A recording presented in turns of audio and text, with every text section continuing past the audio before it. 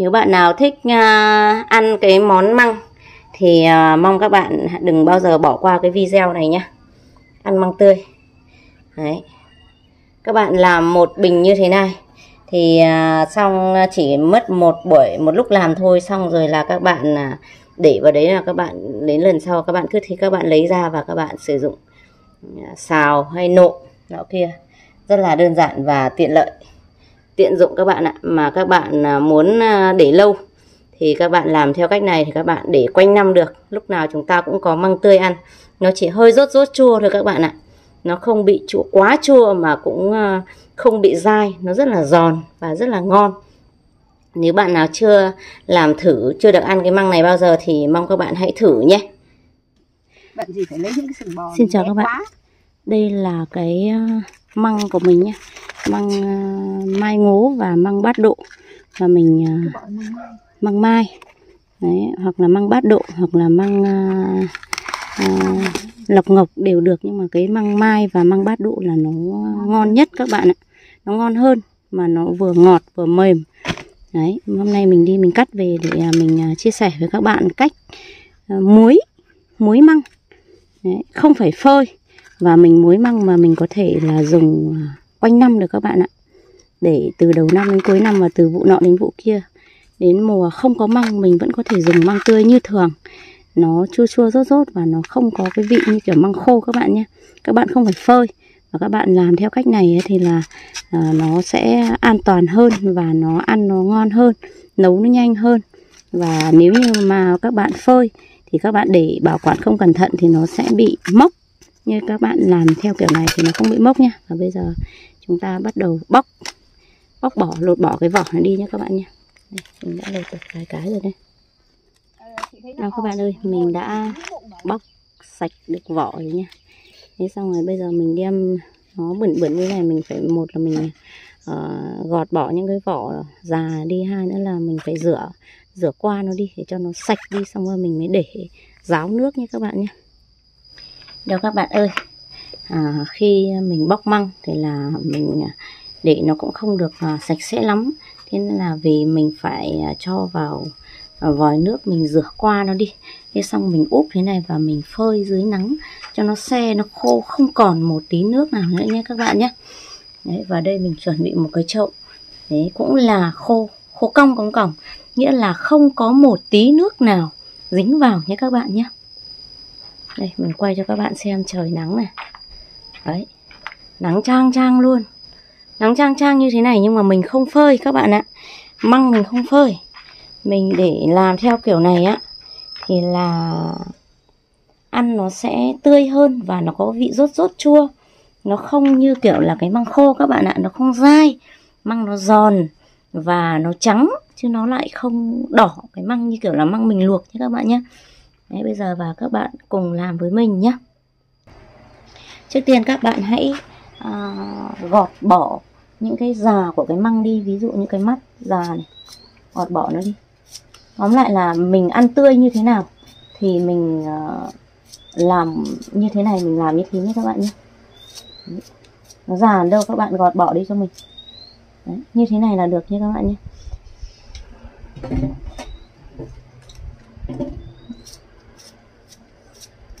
Bây giờ là măng nó cũng gần như cuối vụ rồi đấy các bạn ạ. Thế nên là mình ờ, đi chặt thì cái to cái nhỏ. Nó không đều nhưng măng của nhà thì thôi thì có sao thì làm vậy.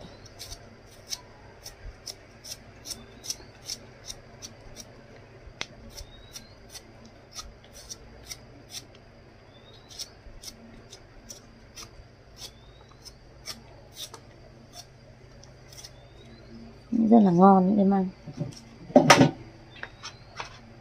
và tiếp theo các bạn nhé. Nếu các bạn muốn để sau này các bạn hầm thì bây giờ các bạn cũng thái theo kiểu hầm. Và nếu sau này các bạn muốn à, xào nộm thì các bạn cũng thái theo kiểu xào nộm. Và hôm nay mình sẽ làm một hũ để sau này mình chỉ xào thôi nhé các bạn nhé. Đấy, mình băm nhỏ ra các bạn ạ. Muốn làm măng xào nộm ngon thì các bạn hãy băm cho mình.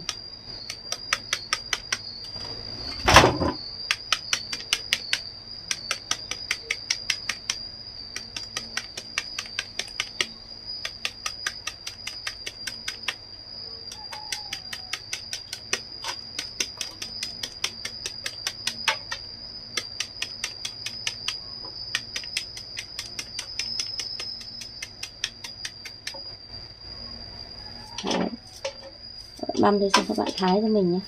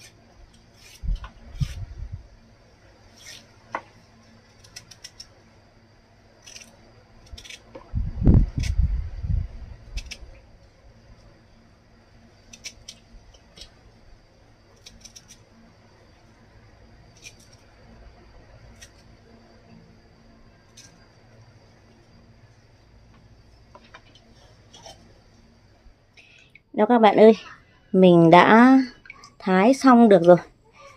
Mình cho vào mình băm nhé, băm thái được rồi. Và đây là mình làm cái món măng sau này để mình chỉ có xào mới nộm thôi nhé các bạn nhé. Làm măng nộm hoặc là măng xào. Thì các bạn hãy chú ý cho mình cái à, mức muối này.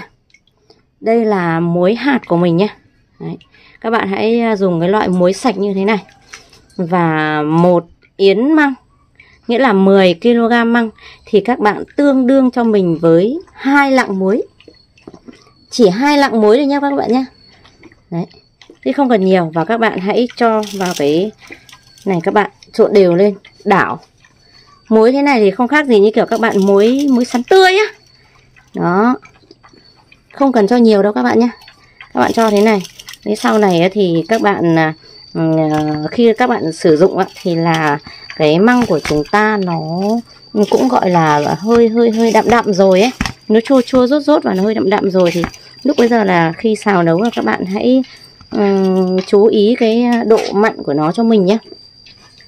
Chứ không phải như là cái măng măng tươi kia mà các bạn à, không cho muối bao giờ thì các bạn phải à, ờ, để ý cái độ gia vị mặn ngọt mặn nhạt cho mình. Đấy thế bây giờ các bạn hãy đảo đều cho mình này. Đảo đều các bạn đảo thật đều cho mình. Đây là cái măng à, mình thái sẵn ra rồi thì mình đảo như thế này nhé các bạn. Đấy. Nếu là bạn mà muốn uh, kho cá này hay hoặc bạn muốn hầm canh thì các bạn hãy thái miếng luôn cho mình. Như kiểu là mình hầm ấy thì xong rồi lúc là mình cũng chỉ việc vớt ra xong rồi là ta cho vào ta nấu thôi ta không phải thái nữa còn nếu mà như ờ, của các ờ, thương lái muốn để cho nó từ vụ măng rẻ và cho đến mùa măng đắt các bạn bán á thì các bạn hãy để cả ngọn nhá. Hãy để nguyên cả chiếc như thế này cho mình nè đấy bạn không gọt cái cái cái cái vỏ này đi và các bạn để nguyên cái vỏ này cho mình nhá. Bóc bóc cái như thế này thôi nhưng một cái gốc này các bạn để nguyên cho mình. Và các bạn hãy à, cho vào một cái bình thật to thế xong các bạn à, um, hoặc là cái thùng to đấy. Xong các bạn cũng à, cho muối vào. Thế xong các bạn để. Như cái mùa này thì à, măng của mình chỉ có à, 5.000 à, một cân. Mà đến cái mùa kia thì rơi đến 30, 35, 40 nghìn một cân đấy các bạn ạ. Đấy thế nên là các bạn hãy làm cách này các bạn à, ủ cho mình. Nhưng mà với à, làm cái loại ngọn kia thì nó là phải cái ờ, bình thật to, cái thùng thật to. Những cái thùng nhựa thật to các bạn ạ. Còn mình làm để mình ăn ờ, mình làm ít thì mình ờ, dùng cái bình thủy tinh. Đây các bạn. Một là bình thủy tinh, hai là cái bình bằng sành, bằng sứ. Thì nó có những cái lắp đậy như thế này. Nó có hai lớp lắp thì mình đậy lắp nó vào như thế này thì mà các bạn yên tâm nhưng riêng làm cái này thì các bạn hãy phải chú ý cho mình là uh, phải đậy kín. Chứ không phải có mùi chua là uh, nó hở gió ra là nó sẽ bị thâm bị đen này. Khi có mùi chua là sợ các cái em ruồi ruồi nhặng là nó sẽ vào thì là nó để trứng này măng của chúng ta sẽ thối. Đấy, lưu ý các bạn hãy lưu ý cho mình nhé làm cách này á thì măng và kể cả những cái bình cái lọ này thật là khô. Đấy. thật là khô. Các bạn không cho nước vào nhé đừng có dính nước nhé nếu măng mà các bạn mà bóc mà nó bảo quản được nó sạch sẽ thì các bạn không phải rửa nhé và nếu mà nó không may nó bị bụi bặm vào các bạn rửa sạch đi. Nhưng mà các bạn phải để cho ráo nước đi. Xong các bạn hãy uh, chế biến. Các bạn hãy băm hãy thái hay là hãy ấy vào. Chứ còn nếu mà các bạn mà cho dính nước vào thì trong vòng khoảng độ một tuần hoặc chục ngày nó chua mà các bạn không ờ, sử dụng ngay thì là nó sẽ nhớt và nó sẽ thối nhé các bạn nhé. Còn à, chúng ta làm như thế này thì nó gần giống cái à, công thức à, muối rau bóc cải, cả cây ấy các bạn ạ. Rau bóc cải hoặc là su hào, muối cả củ bóc cải, muối cả cây ấy các bạn. Đấy hệt công thức đó luôn. Như các cái à, loại kia muối xong thì ăn sống được. Nhưng cái da măng này thì chúng ta muối xong là chúng ta không ăn sống được mà chúng ta vẫn phải cho vào chúng ta uh, xào nấu. Nhưng mà khi ăn đó là cái măng của chúng ta nó rất là mềm mà nó giòn mà nó trắng chứ nó không bị đỏ như kiểu măng chúng ta luộc như các bạn nhé. Măng luộc là hay bị đỏ. Và nếu như mà các bạn uh, phơi khô thì là nó dai nó hay bị dai mà các bạn bảo quản không cẩn thận thì nó sẽ bị mốc các bạn nhé. Còn các bạn mà làm theo cách này thì gần giống như kiểu là ủ sắn tươi ấy. Các bạn để một năm, hai năm, qua mùa này, qua mùa khác. Không sao các bạn ạ. Mỗi lần các bạn lấy ra xong các bạn lại đậy kín cho mình. Thì à, măng của chúng ta lúc nào nó cũng trắng như bây giờ này các bạn Đấy trắng như bây giờ luôn nó không bị ờ, quá chua. Và các bạn uh, cho cái mức muối như thế thì nó không bị quá mặn. Đấy.